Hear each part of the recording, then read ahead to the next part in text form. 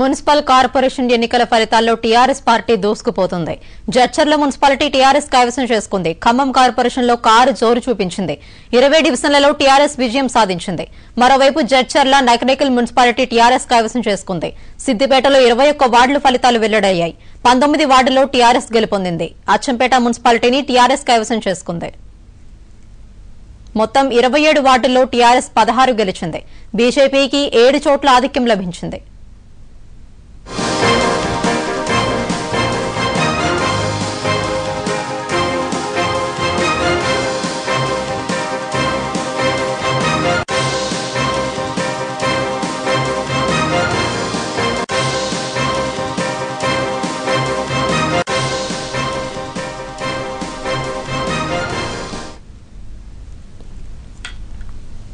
Municipal corporation ఎన్నికల ఫలితాల్లో TRS party దూసుకుపోతుంది.